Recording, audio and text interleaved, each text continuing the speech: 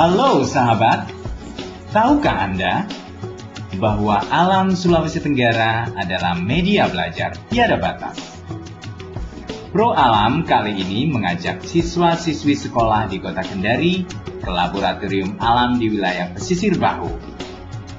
Ini adalah lokasi yang lengkap untuk mengetahui bagaimana ekosistem darat dan laut menjadi satu kesatuan yang saling mengikat. Kiki Andipati bersama tim produksi melaporkannya untuk Anda.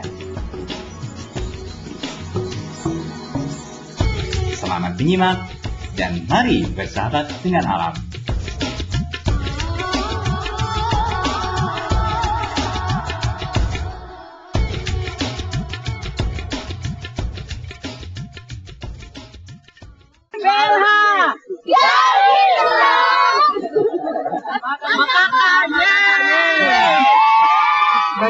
Kiranya jika siswa-siswi sekolah diajak langsung ke alam bebas?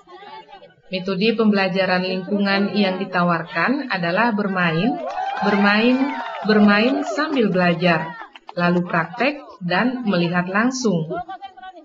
Inilah kema lingkungan yang kelasnya dibagi menjadi kelas laut, kelas hutan, dan kelas pendidikan lingkungan hidup atau PLH. Hasilnya, mereka merasa ini adalah liburan yang menyenangkan.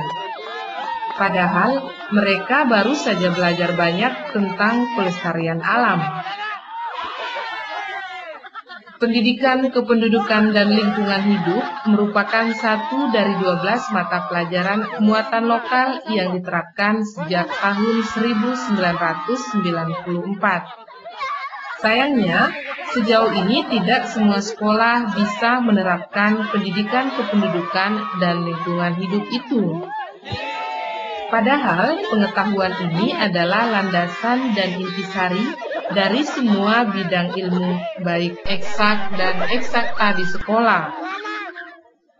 Parahnya lagi, penyampaian teori tidak dibarengi dengan metode belajar yang menyenangkan, juga mudah untuk dicerna oleh siswa-siswi sekolah. Siswa tegang, tertekan, depresi, lalu menganggap momok beberapa mata pelajaran yang dianggap sulit. Apalagi kalau gurunya masih mengajar dengan metode ajar hafal atau konvensional. Pelajaran di sekolah membosankan dan sangat menegangkan. Ini komentar yang dilontarkan secara spontan oleh Nadira, siswi SLTP 1 Kendari, di sela-sela kema lingkungan yang digelar LSM Fosil dan Yayasan Bahari di wilayah pesisir Baho, Kecamatan Launti, Kabupaten Konawe Selatan, tanggal 24 hingga 26 Maret lalu. Nadira mengambil kelas PLH. Ia mengatakan materi yang disampaikan instrukturnya mudah dimengerti dan metode penyampaiannya tidak kaku pelajaran di sekolah itu membosankan. Karena metodenya guru yang menjelaskan di depan siswa hanya memperhatikan. Jadi kan eh, kita juga tegang terus uh, jadi lama sekali untuk otak kita tanggapi. Tapi kalau di sini kan langsung main game kita langsung praktek sendiri. Jadi kayak langsung cepat begitu.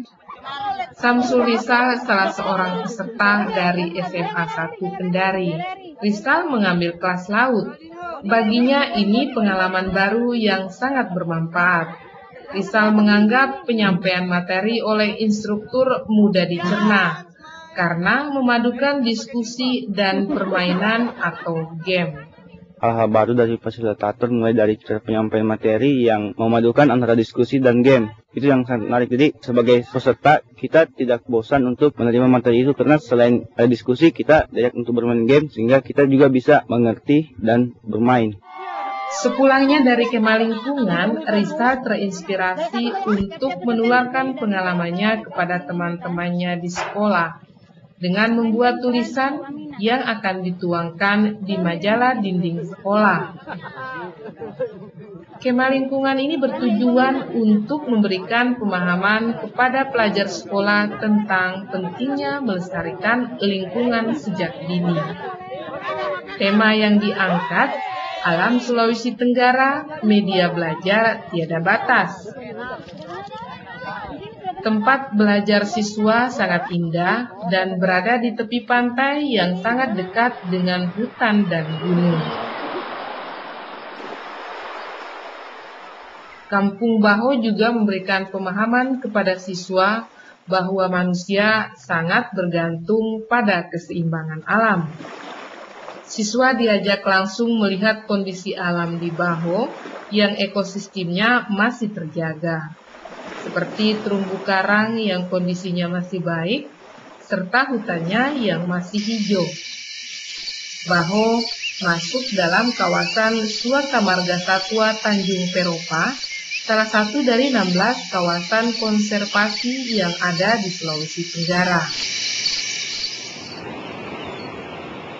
Samsul Alam, instruktur kelas laut mengatakan, sebagian terumbu karang di Sulawesi Tenggara sudah rusak akibat pemampatan hasil laut oleh nelayan di Sulawesi Tenggara dengan cara merusak ekosistem.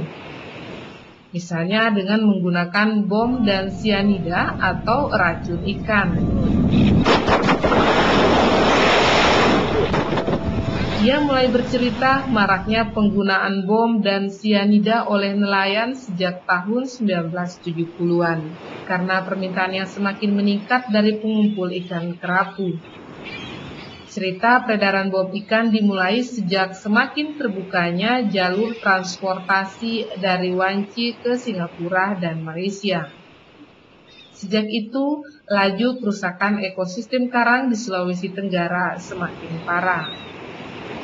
Padahal menurut Samsu, terumbu karang yang ada di perairan Laut Sulawesi Tenggara masuk dalam wilayah Coral Triangle di dunia. Tapi apabila tidak dijaga sejak sekarang, maka terumbu karang di Sulawesi Tenggara akan musnah dan dampaknya berbagai jenis karang akan musnah serta beberapa jenis ikan akan hilang. Coral Ranger itu adalah lokasi segitiga di mana keanekaragaman hayatinya tidak ada selain di situ. Nah, ternyata di daerah Wakatobi atau khususnya di Sulawesi Tenggara, nah sedikit ke Pakabonerate Makassar adalah kawasan yang paling tinggi keanekaragaman hayati dari jenis koral maupun dari jenis biota. Jadi suatu hal yang sangat disayangkan. Ini baru tahun 2006 kita sudah akan kehilangan banyak potensi. Tahun 2016 apa yang terjadi? Saya tinggal cerita, wah dulu kita masuk dalam Coral Ranger. Tiga hari dua malam siswa-siswi tinggal di Baho. Hari pertama mereka sibuk dengan kelasnya masing-masing.